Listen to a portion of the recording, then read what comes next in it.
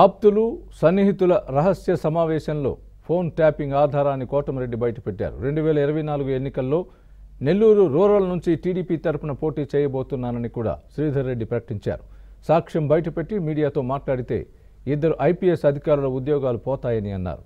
Jagan government Sheikh అవుతుందని central enquiry వస్తుందని Kotamreddy warning ఇచ్చారు. సాక్ష్యం ఉందని. నమ్మకం. ఆ సాక్ష్యాన్ని మీరందరూ కూడా చూడాల్సిన అవసరం ఉంది.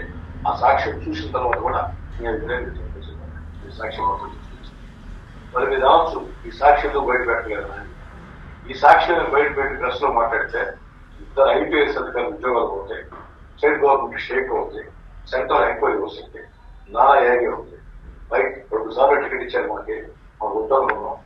మనకి జగన్ రెడ్డి గారిని తిట్టబడ్డా జగన్ రెడ్డి ద్వేషించబడ్డా నాకు అలవాటు లేకుండా ఇప్పుడు కూడా.